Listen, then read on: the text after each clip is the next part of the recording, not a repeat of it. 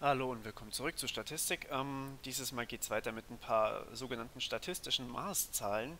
Ähm, wenn wir jetzt einen gewissen Merkmalsvektor haben, dann gibt es da so ein paar Formeln, die man darauf anwenden kann, die werden recht häufig benutzt. Ähm, sagen wir mal, unser Vektor x ist einfach wieder ein Zufalls... ja, nicht 45 unbedingt, eine Zufallszahl von... das ist circa was? Äh, von 1 bis 6 ähm, jeweils einschließlich natürlich. Und ähm, ja, jetzt wollen wir darauf halt ein paar Formeln anwenden, deswegen füge ich hier gerade mal sowas ein. Eine neue bitte. Nicht die alte. Ich weiß, wie ich in die alte reinkomme. So. Ähm, und jetzt haben wir die ähm, erstmal das sogenannte Stichprobenmittel. Ähm, ja, da haben wir dann halt, also das nennt man x-Balken. Jetzt muss ich den Balken hier suchen. Ähm, wenn ich ihn finde. Hm. Ah, hier. Da gibt es doch sicher einen Balken. Genau, den hier habe ich gesucht. Also das wäre dann quasi x Balken gleich 1 durch n. Ähm, 1 durch n. Wobei n die Länge des Vektors ist. Also in dem Fall 1, 2, 3, 4, 5, 6, 7, 8, 9, 10, 11. Also n ist in diesem Fall jetzt 11 mal die Summe von i gleich 1 bis n über x i. Brauche hier wieder so ein Skript. Index i, genau so. Okay, alles klar. So, was bedeutet das jetzt? Also wir äh, summieren einfach alle Werte auf und teilen sie dann ähm, durch die Länge des Vektors, also in unserem Fall 11. Das ist eigentlich ziemlich billig. Ich bin jetzt gerade zu faul, euch das hier so vorzumachen. Ich glaube, ihr wisst, wie man aufsummiert. Das Zeichen hier, falls ihr es nicht kennt, ist einfach eine Summe. Also quasi einfach. Und das bedeutet, xi ist jeweils die, die, äh, der einzelne Eintrag in dem Vektor. Also einfach alles aufsummieren. So, nennt sich ähm, Stichprobenmittel. Gut, jetzt kommen wir zu Varianz. Also ich glaube, Stichprobe, das Stichprobenmittel hatte ich euch im ersten Video schon gezeigt. Deswegen äh, hier nur ganz kurz jetzt eben was wichtiger ist. Hm, was wird das? Warum ist die hier vorne? Mitte bitte. Dankeschön. So, ähm, nennt sich Stichprobenvarianz. Was kann das Teilchen? Das kann folgendes. Nennt sich erstmal sx Quadrat. Also wir wollen es erstmal im Quadrat ausrechnen, weil wir ansonsten gleich die Wurzel ziehen müssten. Das wäre natürlich dann doof. Ähm, weil die Formel so schon ein bisschen komplizierter ist. 1 durch n minus 1. Normalerweise dürft ihr die auch mitnehmen, äh, die Formelsammlung oder sowas. Falls nicht, müsst ihr die ernsthaft auswendig lernen.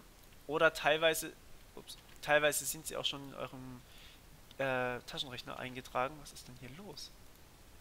Ich hätte ganz gern... Okay, dann halt nicht. Okay, stellt euch die obere hier vor als oben drüber, also als diese, dieses n in dem Fall und unten drunter ist halt das da weiß auch nicht, wieso der mir das jetzt gerade hier so verzieht. i gleich 1 bis n über... Ist aber auch gut, dass wir mal beide Schreibweisen kennenlernen. Oftmals ähm, wird das in Büchern auch so dargestellt. So, und jetzt haben wir hier das, warum ich euch die obere Formel nochmal hinschreiben musste. Ähm, nämlich ein...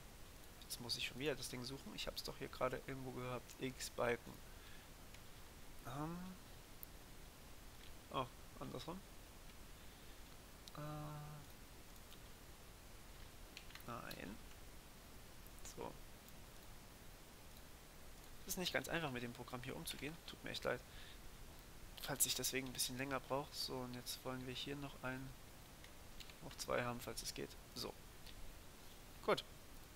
Ähm, n muss in diesem Fall größer gleich 2 sein, das heißt, wir dürfen es nicht nur mit einem machen. Ähm, das bedeutet jetzt so viel wie, ich summiere alle, also ich summiere auf über alle ähm, einzelnen Komponenten. Und zwar nehme ich diese einzelne Komponente hier, also in dem ersten Fall die 1, im zweiten Fall die 2 und so weiter und so fort und subtrahiere das hier davon. Das heißt erstmal das ausrechnen, das ist dann eben der Durchschnitt sozusagen. Ähm, und den ziehe ich dann immer hiervon ab. Das heißt, ich habe den Abstand vom Durchschnitt, also ähm, den Unterschied vom Durchschnitt. Also sagen wir mal, hier ist der Durchschnitt, ich habe keine Ahnung, ich rate jetzt einfach mal 3, wenn ich es wirklich als Zufallsgenerator recht gut gemacht habe, dann ist er 3. ungefähr. Ähm, sagen wir, der Durchschnitt hier ist 3, das heißt, im ersten Fall würde da 1 minus 3 stehen. Und ähm, das wäre dann natürlich minus 2, das würden wir erstmal quadrieren. Und dann würden wir weitermachen. 2 minus 3 ist minus 1, zum Quadrat ist 1 und so weiter und so fort, bis wir hier eben eine Zahl raus haben. Und die teilen wir dann eben durch, also die machen wir mal 1 durch Länge des Vektors minus 1. Also in unserem Fall 1 durch 10. Und äh, dabei kommt eben exakt ähm, ja, der Abstand, also hier wird ja dann der Abstand von allen zum Quadrat berechnet, den teilen wir dann, also den Abstand von jedem einzelnen äh, Eintrag im Vektor zum Durchschnitt.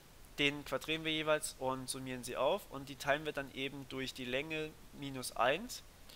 Und wenn wir dann hier nochmal die Wurzel ziehen, also Sx ist ja logischerweise dann die Wurzel, das muss ich kurz noch einfügen, dass ihr es auch sehen könnt.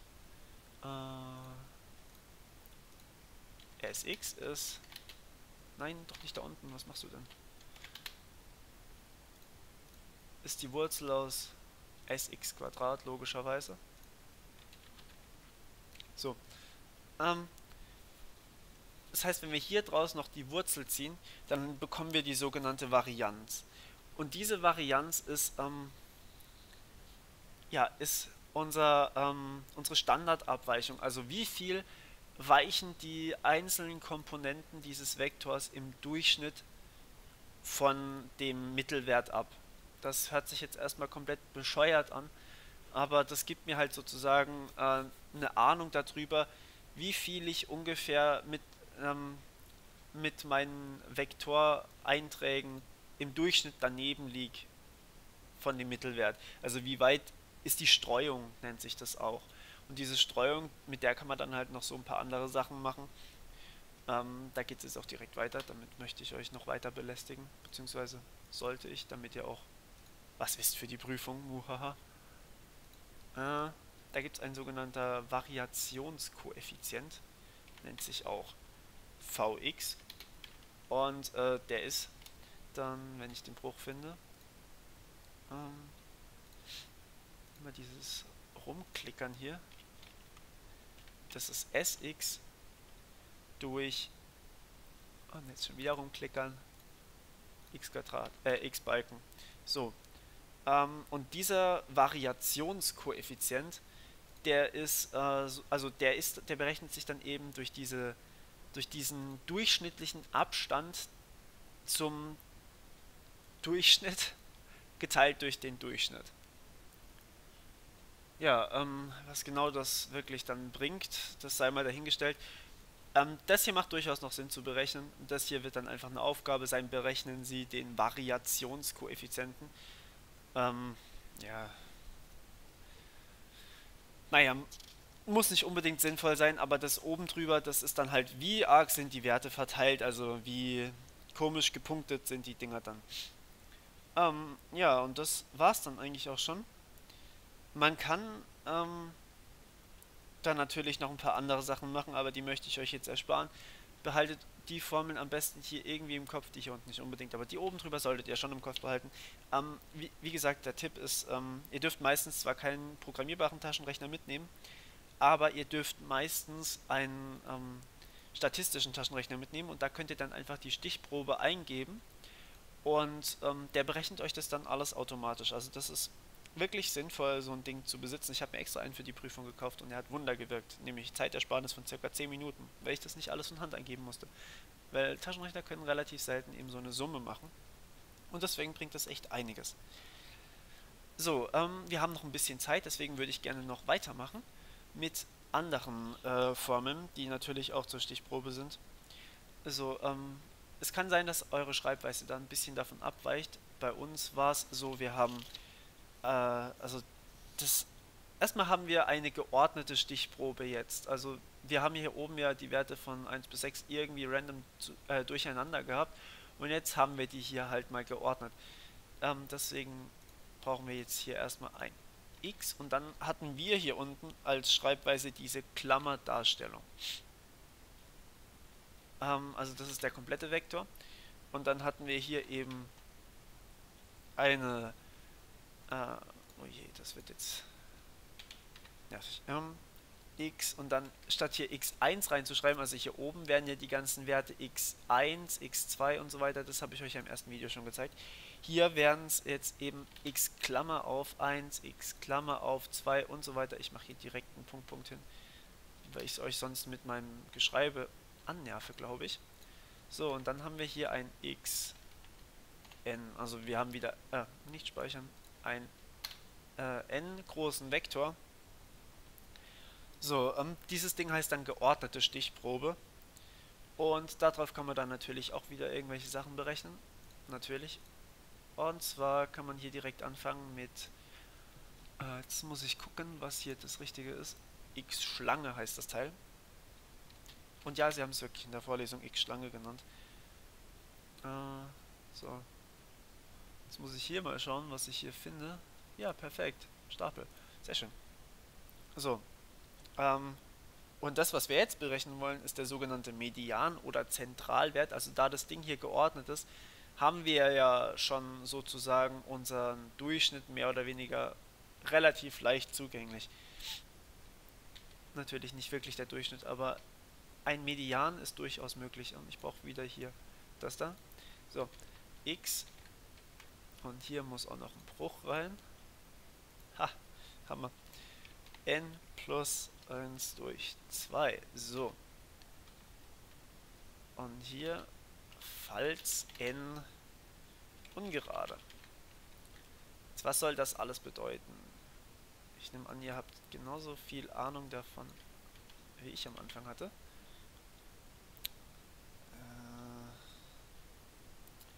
Ich schreibe jetzt hier erstmal kurz die Formel fertig. Und dann erkläre ich euch, was hier passiert. So, äh, kurz abgekürzt. Ähm, genau, und jetzt habe ich hier euch mal die Formel hingepackt. Also, hier fehlt noch eine Klammer, fällt mir gerade so auf. Ähm, genau. So. Also, das bedeutet, unser Median ist, falls n ungerade ist, also falls wir hier eine ungerade Anzahl an Elementen haben, der n plus 1 halbste Wert, n plus 1 halbste, nicht, ja. Ähm, das bedeutet, im Fall von unserem Vektor, den wir hier oben hatten, der ist jetzt zwar nicht geordnet, aber ich versuche jetzt die äh, Formel trotzdem mal drauf anzuwenden. Das bedeutet, wir haben elf Werte hier drin, also ist n ungerade, das heißt, wir nehmen die obere Formel. Äh, ja. Hier muss natürlich gerade hin. Selbstverständlich. Ähm, das heißt, wir wollen n plus 1 ist 12, durch 2 ist 6. Also wir wollen den sechsten Wert. Das ist der erste, der zweite, der dritte, vierte, fünfte, sechste. So. Und das ist jetzt, wie ihr sehen könnt, ich habe links davon fünf Werte, ich habe rechts davon fünf Werte und in der Mitte ist genau ein Wert. Das ist genau die Mitte. So, das heißt, das hier liefert uns einfach den mittleren Wert. So, was machen wir, wenn n gerade ist? Ich lösche jetzt hier gerade mal die 4 raus. So, jetzt haben wir n Werte hier drin. Jetzt gibt es keinen mehr, der direkt in der Mitte ist. So sind vier links davon und vier rechts davon. Aber hier habe ich ja nur ein Komma, da kann ich ja nicht drauf zugreifen. So, und dann macht man einfach folgendes, also ihr nehmt jetzt bitte an, dass die hier aufsteigend sortiert sind. Ähm, dann macht man einfach folgendes und sagt, ich nehme mir den n halbsten Wert, also ich habe hier 12, äh, 10 Werte drin, also nehme ich den fünften Wert und ich nehme den n halbe plus ersten Wert, also den sechsten Wert in dem Fall, also den hier, summiere die auf, dann habe ich 10 und teile durch 2, dann habe ich 5. So, und wenn ich jetzt die aufsteigend sortiert habe, dann kommt da auch der Median raus. Also so berechnet sich eben dieser Median. Genau. Ähm, und ähm, das Schöne an dem Ding ist, dass man jetzt hier, ähm, also hier oben hat man natürlich noch die Möglichkeit, also das berechnet sich eigentlich relativ ähnlich, ähm, aber das Problem an diesem Ding hier ist, dass wenn ich jetzt, sagen wir mal, hier noch einen Wert drin habe, der 10.000 ist, dann wird mein Mittelwert hier, den ich hier berechne, wird einfach das alles aufsummiert und äh, auch das wird drauf summiert und dann habe ich hier irgendwas mit, naja, ähm, 10.000 und na, vielleicht 20, wenn es hochkommt. Also 10.020 durch ähm, 11 ist immer noch äh, um die 1000 rum. Ja? Aber in Wahrheit sind einfach die meisten Werte deutlich kleiner als 1000, äh, 10.000. Oder auch 1000. Und deswegen ist das dann halt so, ja, Ausreißer sind hier ziemlich, also die Dinger hier, der 10.000er Wert würde Ausreißer heißen, die sind dann relativ empfindlich. Was man bei dem hier nicht behaupten kann. Weil hier habe ich ja alles sortiert. Ja, also das ist eine sortierte Liste sozusagen. Und wenn ich jetzt hier auf diese sortierte Liste ähm, den mittleren Wert zugreife, dann sind natürlich ziemlich genau 50%, also die Hälfte äh, aller Werte sind kleiner oder gleich groß und die andere Hälfte ist äh, größer oder gleich groß. Und da ist es mir völlig egal, wie viel größer die sind, aber ich habe einen äh, Wert, der 50% eben größer oder gleich groß hat. So, ähm, jetzt kann man das natürlich noch verallgemeinern. Äh, also im Moment sind ja wirklich, wie ich gerade gesagt habe, 50% kleiner oder gleich groß und ähm, vielleicht wollen wir das ja noch ein bisschen differenzierter haben. Ähm, da kann man dann natürlich das Ganze hier benutzen und ich schreibe euch mal wieder zuerst die Formel hin und pausiere derweil die Aufnahme, damit ihr nicht gelangweilt werdet. So, ähm, jetzt habe ich die Formel mal hier fertig. Also, was man hier jetzt gemacht hat, man hat gesagt, man definiert sich nicht ein Median, sondern ein Stichproben-Alpha-Quantil, so heißt das Teil. Ähm, das gibt mir jetzt Auskunft darüber, wie viel Prozent sind so, äh, wie viel Prozent dieser Stichprobe sind kleiner oder gleich. Also hier unten kommt eben für dieses Alpha ein Prozent rein, also äh, zum Beispiel 0,33, das wäre dann das ähm, Drittelquantil oder wie auch immer man das nennt. Ja, doch, Stichproben 0,33 Quantil. So, jetzt erkläre ich euch mal die Formel. Ähm, also man hat hier x k plus 1, also man nimmt den k plus ersten Wert, wobei k n mal Alpha aufgerundet ist. Also sagen wir mal, wir geben hier unten 0,5 rein, dann sind wir wieder hier. Das heißt, man nimmt n, also unsere Stichprobe, äh, äh, unser Stichprobenanzahl, also wie viele Elemente in unserer Stichprobe drin sind, mal dem, was man hier unten angegeben hat in der Formel. Also n mal 0,5, also 11 mal 0,5 ist äh, 6,5. Und ähm, wenn das eine natürliche Zahl ist, also wenn es eine natürliche Zahl ist, bedeutet es muss größer als 0 sein, das ist so oder so. Und es muss vor allem auch ganzzahlig sein. Ähm, also n mal Alpha ist in unserem Fall leider 6,5, also keine natürliche Zahl. Ähm, das heißt, man kann diese Formel hier nicht benutzen. Ansonsten einfach auf den k plus ersten Wert drauf zugreifen und ansonsten nimmt man, falls eben das hier nicht gilt, muss man eben, wie auch in unserem Fall, einfach hier auf diesen äh, unteren Wert drauf zugreifen. Ja, ähm, das ist schon alles zu dieser Formel. Und ich glaube, ich habe euch jetzt genug mit Formeln geplagt, ähm, dass ihr das mal ruhen lassen könnt und einfach mal absetzen. Ja, Gut, ähm, ich würde sagen, nächstes Mal zeige ich euch ein bisschen was zur Verteilung von sowas, äh, von so ein paar Stichproben und dann werdet ihr das auch ein bisschen anschaulicher erleben, hoffe ich mal. Bis dorthin wünsche ich euch alles Gute und macht's gut. Ciao.